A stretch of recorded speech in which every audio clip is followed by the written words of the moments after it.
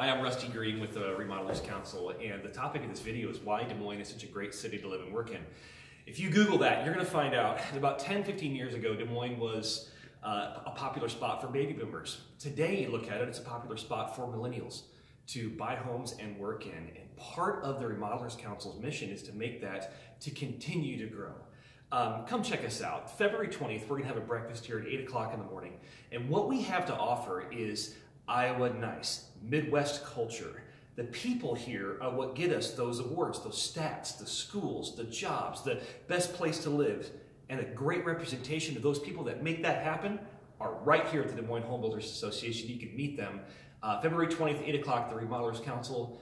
I invite you personally to come out and check us out. I hope to see you then.